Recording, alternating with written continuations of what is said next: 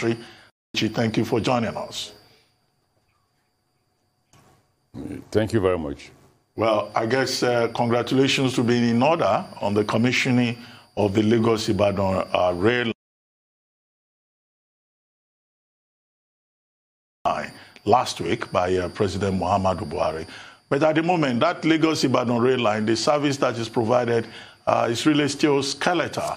Uh, when would the rail line be completed and it will become fully operational? And what are the plans in place for the proposed, the planned extension of that rail line from Ibadan to Oshogbo, to Ilorin, to Minna, to Abuja, all the way to uh, Kano? Well, Reuben, coming from you, I should be I should be appreciative of your, your congratulations, your message to other Nigerians. but but then what, what to say to you is that the rail line has been completed. There's nothing there's nothing that indicates that it has not been completed. Why the services are still skeletal is because there's what they call communication and signaling. Now it takes six months to know that that equipment is, is, is in perfect condition you continue to test the equipment so that you don't have any uh, train accident. So we are moving from two uh, services in a day to four. It will be gradual progression. Uh, I believe that by the end of the year, we'll be doing 16 trips a day, which will be, which will be phenomenal. Yeah, but I asked about the plan for extension all the way to Kano again, I'm happy, I'm happy you're asking that question. I thought we were being criticized for taking the loans. Now everybody's asking when are you bringing the rail to my village, not even to the city. Uh, uh, as soon as we get the Chinese loan, we will commence the construction of Ibadan to Abuja. But uh, by, by, before the end of this month, we should commence the construction of the Kano Kaduna Rail. We've already mobilized the contractors with some funds. Uh, we'll fund it initially from our budget, pending when the, the, the, loan facility or the negotiation for the loan facility has been completed.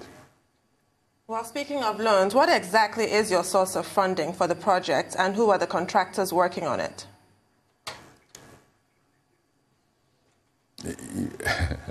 A good question. Even when uh, Reuben Abati was speaking, he did say the loan was was from the China. I mean, the project was funded from the Chinese loan. And like you know, we're waiting for further negotiation to conclude to conclude the negotiation of the Ibadan to Kano.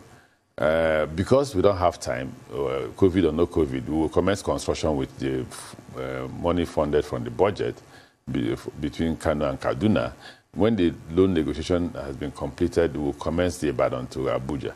We believe that we should be able to complete the Kano Kaduna one before the end of the government, while the one from Ibadan to uh, Abuja may be completed just some few months after we leave office. But before we leave office, we should have been able to take it to about 80% uh, completion.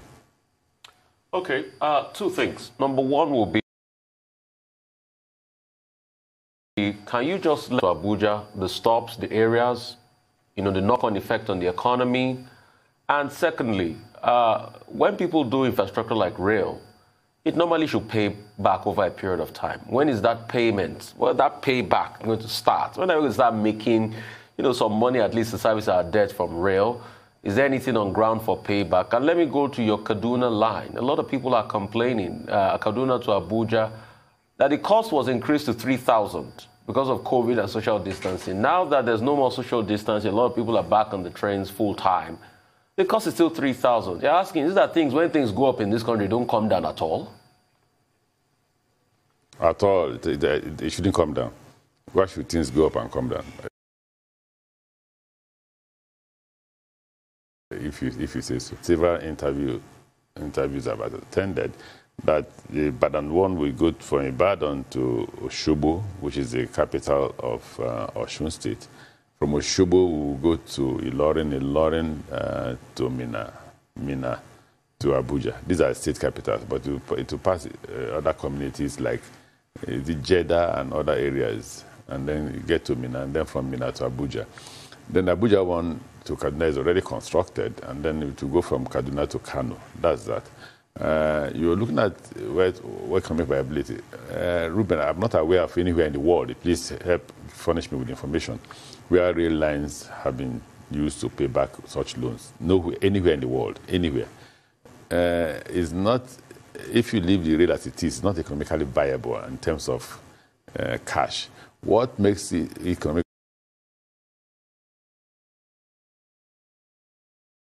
viability is the fact that economic activities like, for instance, if if you are if you if you manufacture in areas where the rail will pass through, then you can be sure that they would the, the rail will provide you transportation and logistics. Now, because of the capacity of the rail to provide logistics and transportation, it uh, impacts heavily on the economy and then reduces cost of transportation, improve, creates, creates employment, and improves on economic activities.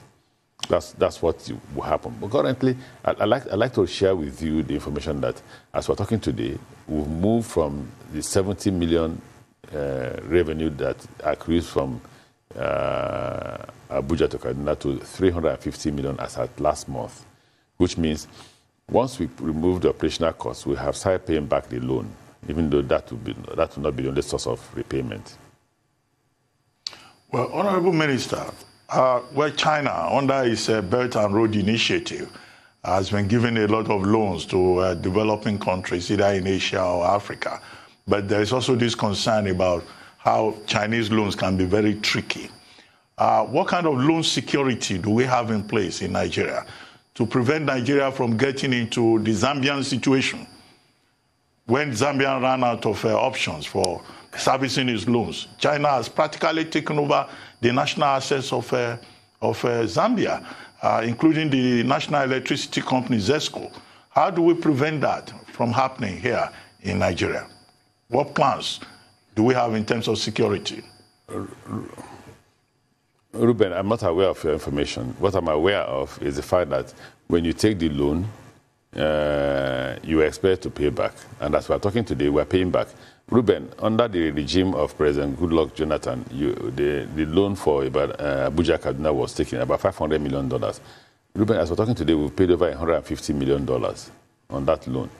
And uh, Nigeria has never defaulted when it comes to loan, uh, loan repayment. I don't also expect that we should we will default in any other uh, loans that we have taken. The loan for Kano, for Ibadan to Kano is about $1.5 billion. The rest, $500 million, came from our budget. I expect that whatever, budget, whatever loan we take, we'll be able to repay.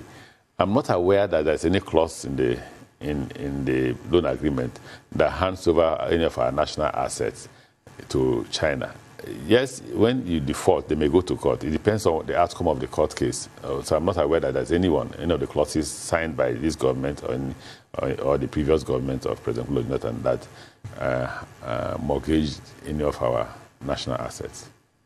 Well, now let's move to maritime security and the Deep Blue project. We watched a brief um, video on that before we started this conversation on the collaboration between Nigeria and Ghana, which underlines the importance of security of our coastal area. So, can you talk about the Deep Blue project and what exactly it serves to give to Nigeria in terms of maritime security?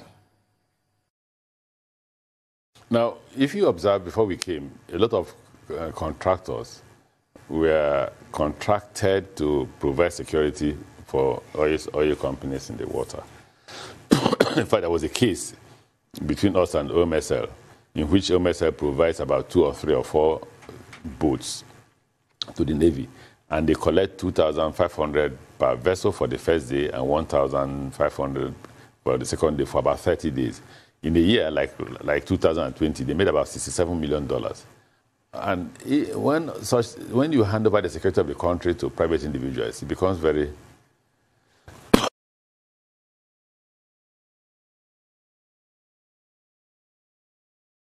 becomes very the responsibility of uh, OMSL and other security so-called training.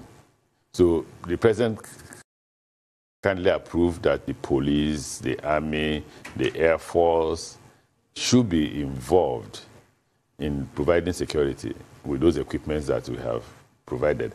So what the Deep Blue project does for you is that with you have about three helicopters, two uh, fixed wings plane, you have about uh, 17 to 18 uh, boats, then you have about two vessels, uh, you have drones.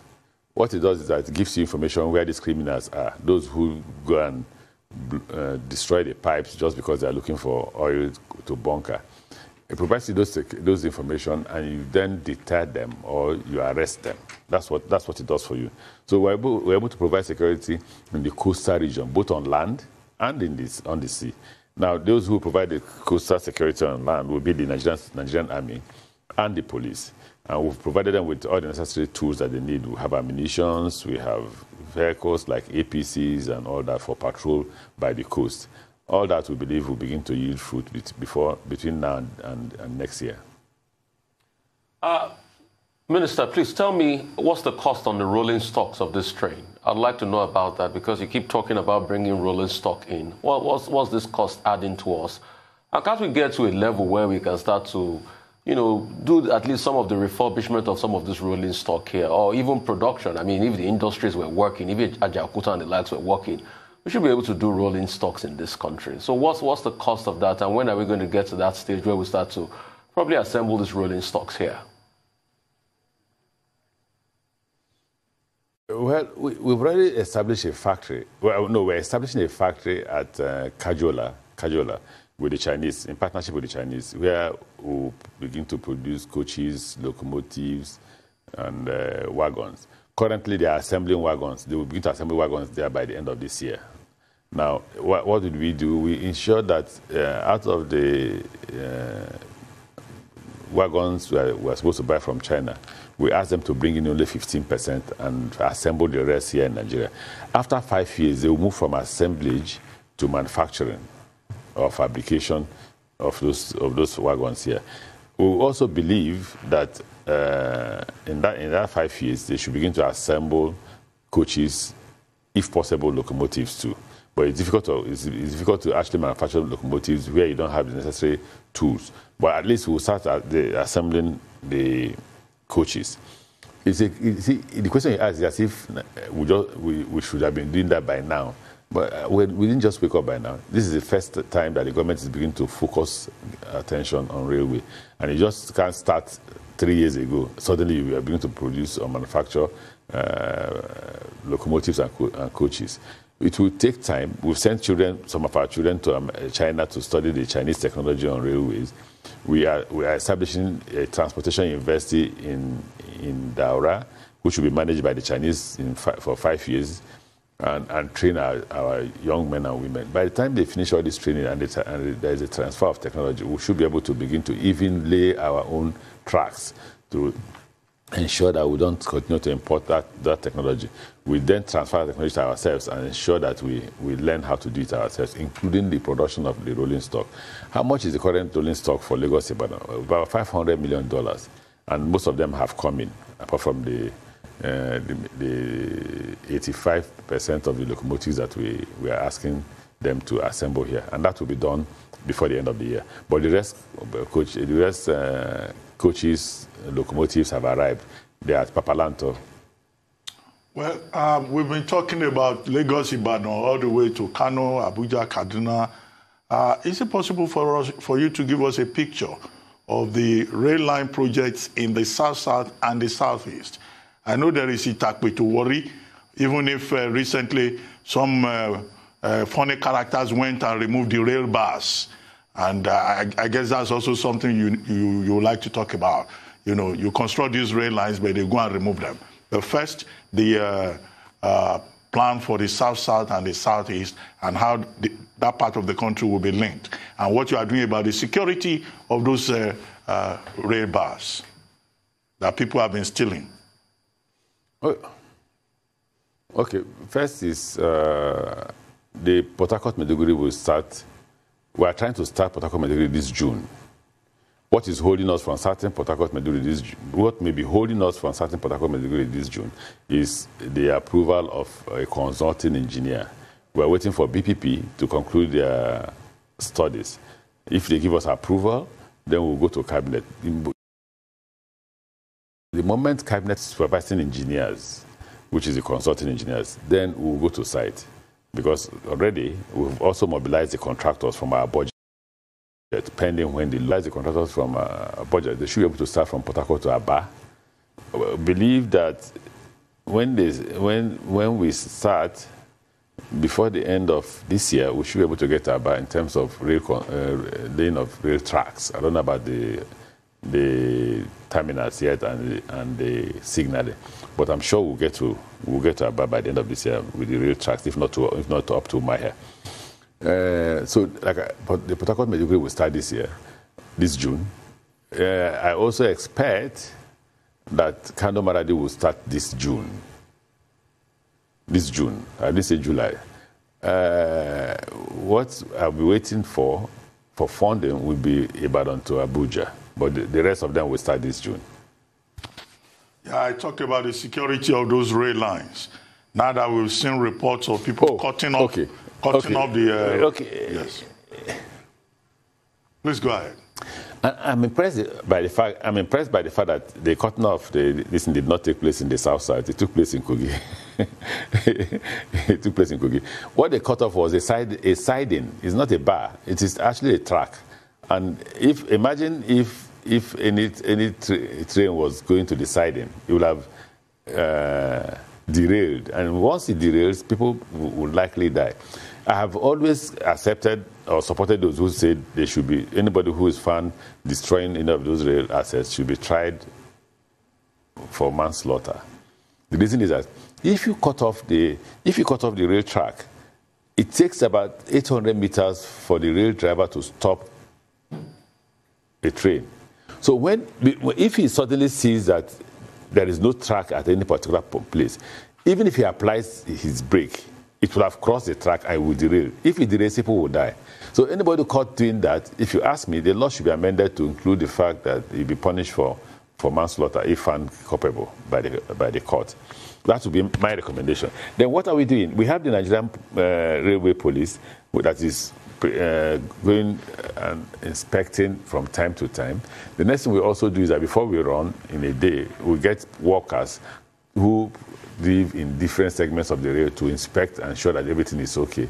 Where things are not okay, they, they will uh, alert the management who will look at how to fix whatever that's gone wrong. That's how we discovered all those, uh, the Itakpe one, because if we didn't do that, the rail will possibly, the train would have possibly gone there and would possibly have derailed. So we think that long-term measure will be to pass a law that punishes those who engage in that act with a, a, a, a of manslaughter. While, while we also think that uh, the police would up their game in, in trace, tracking and tracing these criminals so that you deter them from participating in, the, in such crime. And that thing will be um, information management and sharing, letting uh, creating awareness for them to know the danger of such activity. And then finally, the police must first and foremost punish those who buy these tracks. Because if there is no market, then there will be no, if there is no demand, then there will be no supply. Well, I would say that it's manslaughter because if you cause an unlawful death of a human being, whether or not you plan to, you ought to be punished. You ought to have the full weight of the law thrown at you. But I want to talk about, speaking of unlawful deaths, the burning issue facing Nigeria today, which is insecurity. We often don't think of the Ministry for Transport when we're talking about insecurity. We think of service chiefs and the police force and what have you. But I want to specifically tie your projects, rail infrastructure, Deep Blue project, how does it impact that fight against insecurity in Nigeria? Because most of us Nigerians are not seafarers. I want you to explain exactly how it impacts all of us, how it benefits all of us. Okay, so the first, the first thing is that we are in charge of the security of the water. That's why we're providing the Deep Blue project. We're not in charge of security of the whole nation. What we are in charge of is the security of the water. So we provided the Deep Blue project to protect people who engage in water activities. Now, Nigerians make money from every, every everything, whether good or bad. Most Nigerians, uh, when I say Nigerians, I mean all Nigerians, most Nigerians, especially Nigerian elites. So they were making money from insecurity. In fact, some of them were actually causing the insecurity so that they can make more money. Especially when it comes to the oil, the money they make from the oil companies in the so-called provision of uh, uh, security architecture for them. Now, what, what, what, we, what, we've, what we've done with Deep Blue Project is that we will reduce the cost of producing oil in Nigeria. Because in producing oil, they also build in the cost of security. So by the time we provide the security in the water, the economy will improve because there will be more money coming into the economy. That's, that's the impact it will have when it comes to the Deep Blue project. In fact, the Israelis who did that, that, trade, that training said in six months to one year, if there is no improvement in the economy in terms of how much comes in, both to NIMASA, NPA, and, and, and the oil, oil industry, then you come back to us and we'll be willing to refund. But you know, it's simple mathematics. It is true that the moment you can take away these criminals from the water, the moment you can take away these contractors from the water, then the cost of uh, security, which is borne either by an NPC or by the oil companies, will be part of what will come back to us as income. Then on land, all our all our coaches in all, you have armed policemen in all our coaches, and you have enough in any any trip we are making to that to withstand any attack from anybody. That's why all those lies. Oh, uh, Kaduna train has been attacked. All lies. None. It can't happen. Why can't it happen? Because we have enough security. That's why it can't happen. The same with um, uh, Itakpe-Warri. You have enough security in those trains. Not just not one policeman. Enough to to to repel any any attack. The same will happen when we start running uh, Lagos Ibadan. As, as we're currently running two trips, which by yesterday should have, been, should have started with four trips, you will have enough security inside those trains to withstand any criminal act. act. That, that's one assurance we give to Nigerians. Beyond that, I have no role to play with security. Okay, great, great, great uh, insight you're giving. But I have always made a case and the last time you, you, here, you were here, I made a case for those narrow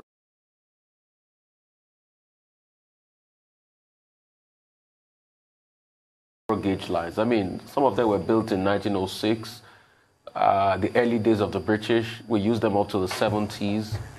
This because this this rail lines you're building, your the government is building, they're building standard gauge. But is it that we're going to abandon those narrow gauge lines? And I'll give you an instance. Take for instance the drudgery that it takes you if I'm going from Lagos to Ibadan and I have to go and stop in Omi, when I have a national rail station, the standard gauge line in Dugbe, that is just inside of the town.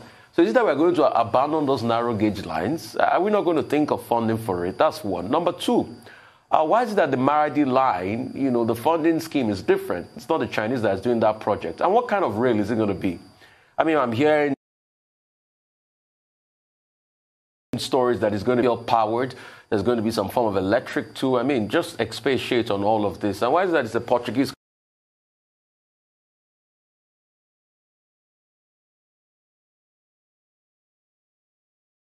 company that is doing that? The funding channel is different from the Chinese loan you've been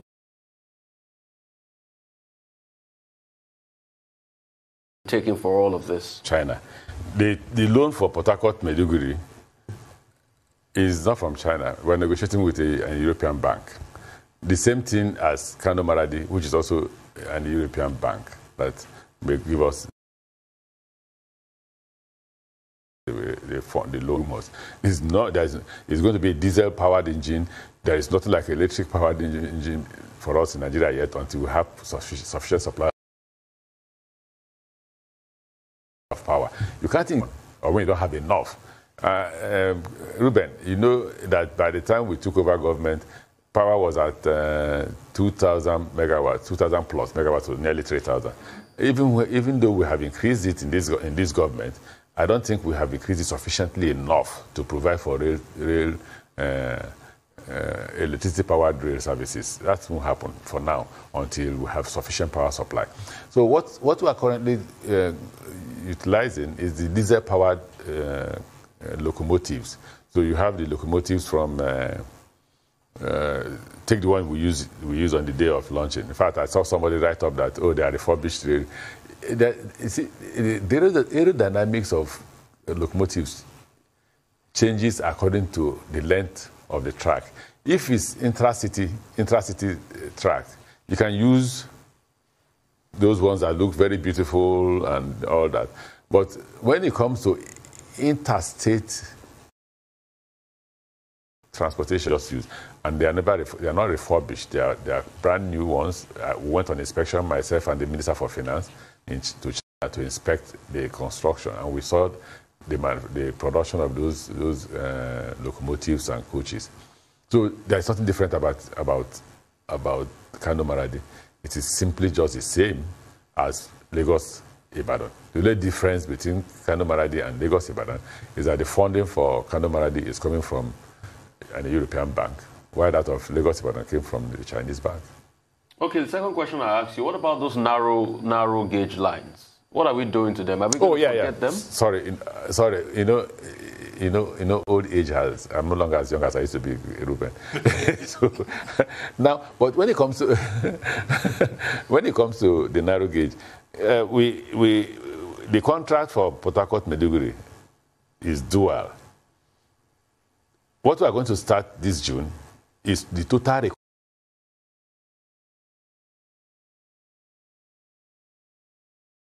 construction of it. It means that even where in the past the narrow gauge had avoided uh, either a hill or a valley or the line straight to reduce the length of the, the track and make it faster for us to, to back out Maiduguri. At the same time, the president has directed that contract be awarded for standard gauge, which will be funded when maybe when the next government comes. But the difference between the narrow gauge and the standard gauge is, is the speed, just the speed. Uh, the Lagos Kano narrow gauge is the one we are negotiating with different uh, interest group that want to reha rehabilitate those ones. That, because the first people we had that negotiation with was the GE. But you know what happened to GE? Now we're talking with different groups now, not just one. We have about three groups that we're talking with. Once we conclude, we'll go back to the president and to cabinet for approval.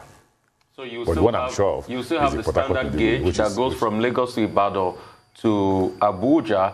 Then you will have the narrow gauge if people can bring money in that still goes, you know, through Lagos to Ibadan, yes. through Dugbe, yes. and to Abuja uh, and uh, upwards. I'm not sure the narrow gauge yes. got up to Abuja. Yes. yes. Okay, quickly, uh, Honorable Minister. No, no, no, no, no. It, it, it, it, got to it got to Minna, Minna to Kaduna. Okay. Kaduna to Kano. Just. Um... Okay, I want to ask you questions about Apapa Port. Uh, just a pack of questions. If we could just take all of them together.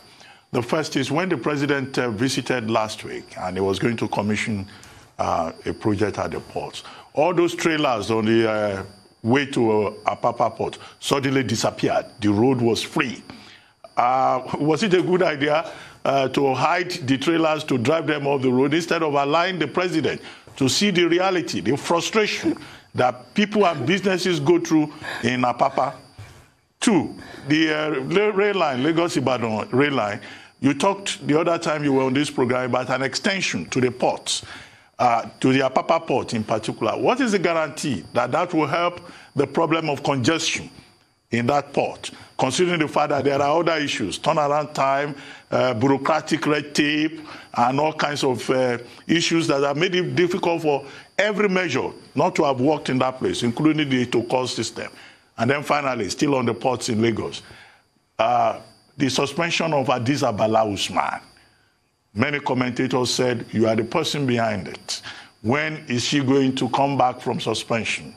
What is the status of the investigative uh, uh, panel uh, that you reportedly set up?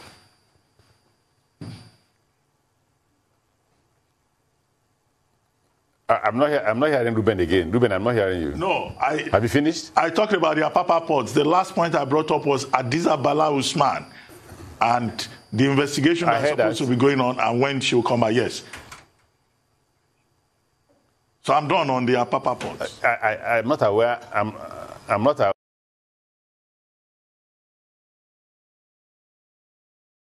I'm not aware that I suspended Hadiza. I'm not the president. I don't have such powers. That power rests with the president. And I'm not aware that Hadiza is actually suspended. What, what happened, I suspect, uh, don't forget I said uh, I was, she wasn't suspended, is she was asked to step aside to enable investigation to be carried out on NPA, not on her. We're investigating NPA. Uh, at the conclusion of uh, the investigation, all the reports will be forwarded to the president who who will make a determination on the way forward. That's what will happen. When will the panel finish? I'm not aware. I don't know. The panel is now headed by between Ministry of Transport and the Office of the Head of Service. The Office of the Head of Service contributed six persons, six persons, including auditors and accountants, and then the Ministry of Transport just brought five. So it's a panel of 11 that has been instituted to investigate activities of NPA from 2016 to the present day. Um, apart from that, there's no other thing happening. There's not there, uh, this, this, there's too much noise, just too much noise, especially your ThisDay, your your second, your uh, this thing that is talking about uh, Hadiza NPA. What's special interest? That, that, that I, I, want to know. But again, I'm not going to address it. Well, it doesn't become sub judice, even though it's not in court, but there's a panel. You don't have to influence the panel. Don't have, I don't have an opinion uh, over that. And I've told you here that uh, it, is, it is NPA that is under investigation. And the managing director of NPA has just been told to step aside pending when the investigation will be concluded. And when the investigation is concluded, the president will make a determination uh, or determine what happens next.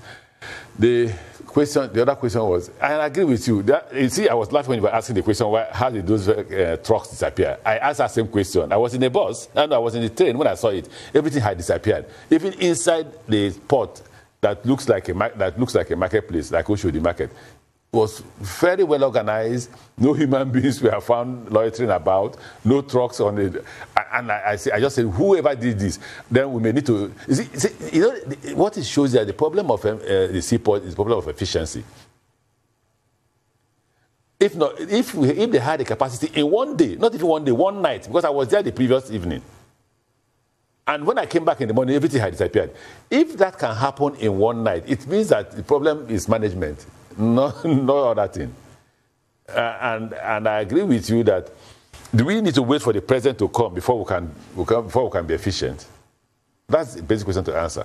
And what I have, what I did, uh, which will dovetail to that, that, that question you asked, what I did was to have a meeting with the terminal operators. And what, what I told them on Friday when I met with them is that they have to contribute to the reconstruction of the Apapa Seaport. We must rebuild the Apapa Seaport, take into cognizance all the issues that are, we are seeing now that's frustrating the seaport. All those, where, where do you park the trucks, how many trucks are coming to can come into the seaport at what point in time? How can a human being who has no business into the seaport in the seaport come to the seaport? What is he doing at the seaport? The seaport is a security area, and it's not even me. If I become a former minister, I'm not entitled to go into the seaport unless I have business in the seaport. Now we are going to partner with uh, customs because they are largely uh, they are, between them and NPA, they're the operators of the seaport, and see how to arrest this situation. I believe that the, when we begin to uh, freight cargoes from the seaport through the rail, then we'll reduce some of the challenges that we have at the seaport. That's, that's my belief. What is your response to critics who say that the Ministry of Transportation is not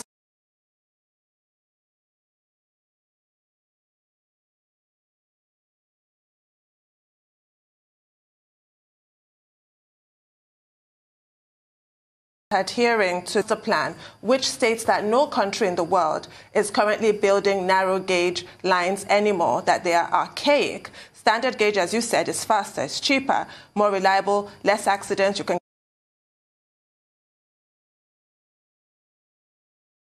get the spare parts, Port Harcourt Maiduguri narrow gauge line.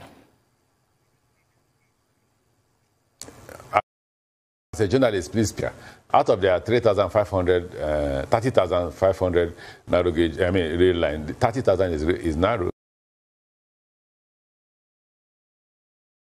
Narrow gauge. They all operate narrow gauge line. But, but see, when, you, when this information is carried out like this, you incite the southeast and the south incite the south south. But it's not correct, completely not correct. And it's abnormal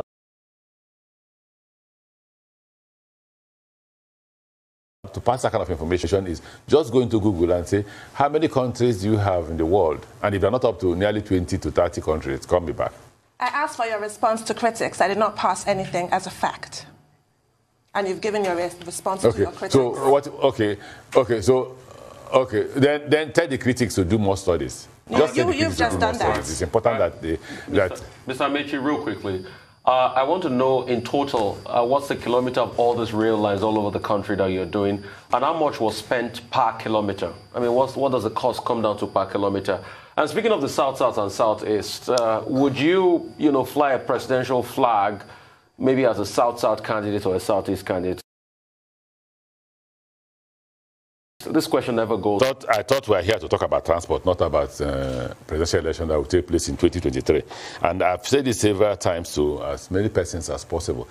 Let me do my work. Reuben, allow me to do my work. I have not been sacked by the president, neither have I resigned nor has our tenure come to an end. I'm currently the Minister for Transportation, and I'll continue to discharge that responsibility until such a time that I'm unable to discharge such responsibility again. Please, I don't want to be distracted. That would be the answer to the question. And uh, uh,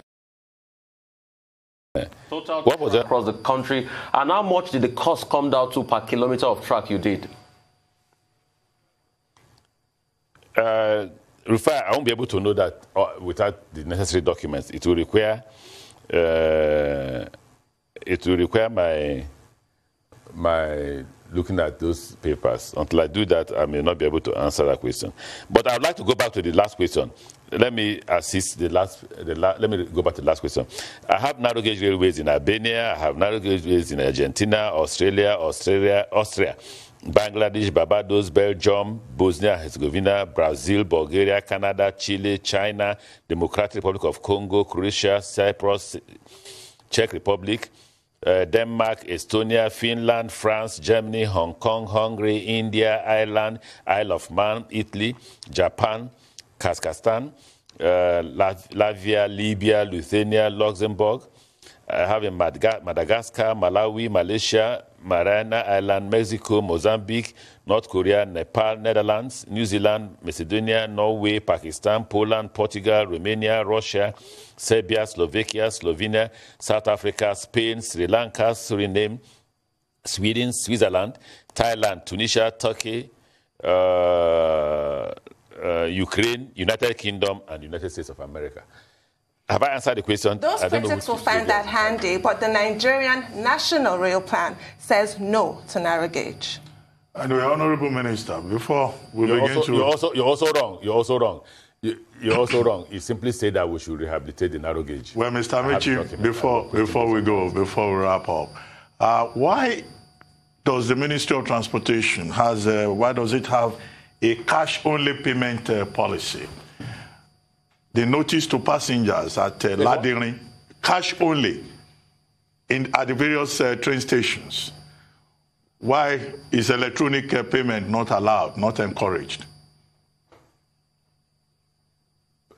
Is this payment for tickets? Or? Tickets for tickets for train I tickets. Is this, I can't see you. Is it Rufai? It's Reuben. Reuben. Now, Abati. You're also wrong. Reuben, you're also wrong. Okay. Kaduna Abuja is electronic you're wrong. Kaduna Abuja is electronic. Okay, but I'm quoting the, the Abeokuta station. The Abeokuta station. The one in Ladiri in Abeokuta. Because we are yet to go because we are yet we are yet to go to cabinet to seek we have to advertise for people to bid for electronic ticketing. When we finish the process, we'll go to cabinet. When we get cabinet approval, we commence that. It's not a thing you do immediately. I see. Well, quickly before we go. Uh, oh, I have a question. Oh, okay. Please go ahead. Right. I have a question from a viewer. He's asking, can you ask Minister Amaechi why the Calabar seaport is not functional and what are the plans to make it functional? Also, what is the status of Onitsha and Lokoja inland river ports? I'm a politician, so I won't give you much answer about Onitsha and Lokoja. Uh, the, the, answer I gave in in uh, Baro put me in trouble politically, so I, I won't give you the response to to Onitsha and Lokoja. But Onitsha, I think we are, they are in the process of uh, uh, they are processing the. Somebody won that, but they, they are in the process of having to hand it over to him. Uh, Lokoja is under construction. That's the best I can tell you. What was the other question you asked? You, the, the gentleman Calabar asked, what's happening at Calabar Seaport? Uh, Calabar Seaport, Calabar Seaport has to do with dredging, actually. But again, if, if, in, if enough uh, vessels were calling there, maybe we would have uh, been forced to do something quickly. But the, why it is not being dredged is that uh, if a governor, a, a, governor of one of the states in the country took, uh, took us to court, I think we, uh, when the, until the court case is over, then we can deal with the issue of dredging. All right. Well, Mr. Mich, uh, Minister Amaechi, thank you very much for joining us on the morning show. Thank you very much indeed. We take a short break now, and when we